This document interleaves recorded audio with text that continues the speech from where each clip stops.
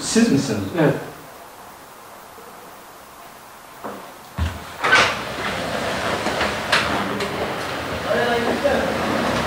Tamam geçtim. Geçmiş olsun. Sağ olun. iyi kokuyor. Selamünaleyküm. Mu? Gözlülük yapıyor. Tabii ki.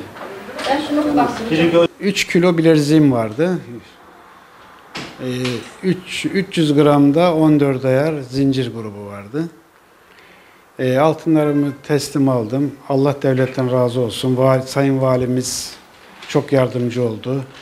Emniyet Müdürümüz, işte e, jandarma komutanımız hepsine çok teşekkür ediyorum. 7,5 yani yaklaşık 3 aşağı 5 yukarı 7500 TL civarı işte.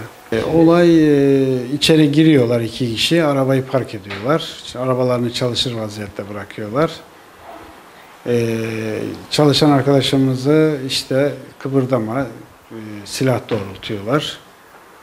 E, o da kendini işte kendi silahımızı kullanma işte isteme şeklindeyken seni vururuz diyorlar. Mermi hatta atıyorlar hatta. E, Çocuk kafasını eğiyor, başından geçiyor. E, Arkadaş beni tutuyor. E, Ben de o arada arkadaşlar silah olan yok mu? İnsanlar kalabalıklara söylüyorum ama kimse tabii şey yapamadığı zaman. Onlar içeriden çıkıyor. Ben arabayı bıraktım, koşuyorum arabaya. Arabada yan kapısını açıyorum.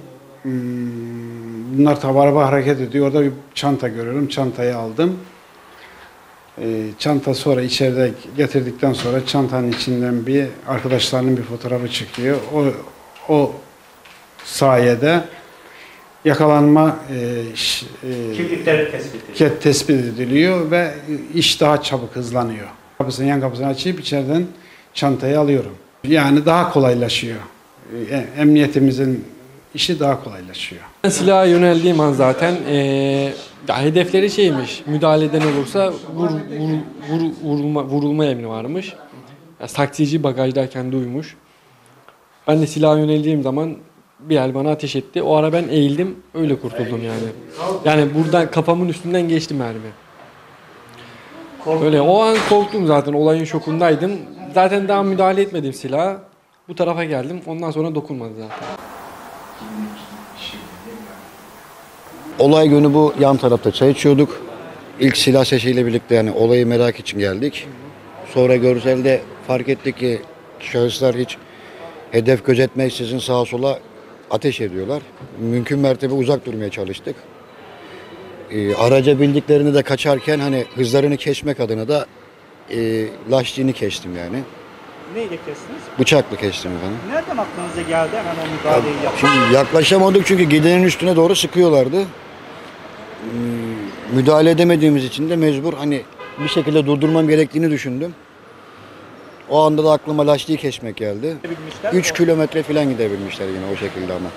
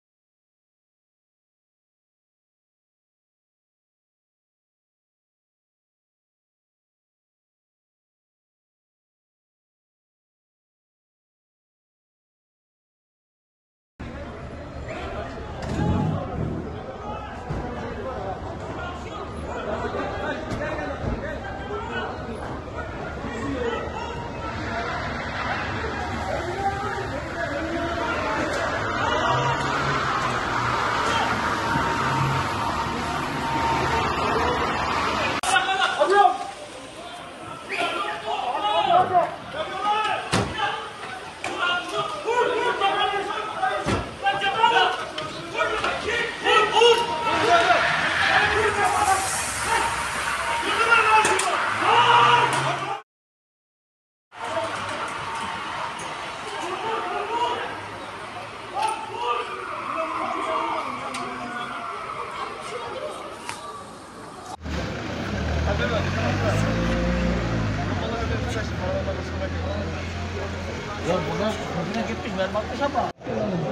Konuyla alakalı bir şey demişiz o yüzden anlıyoruz. Da kamerayı kapat.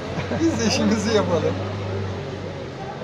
Tüpçünün birini aldık bugün. Araba tüp dolu. 4.50 alkollü sabah saat 4.30 çocuğu. Şey, Yok sadece şey için diyorum arkadaşlar. yok yok sadece. Yok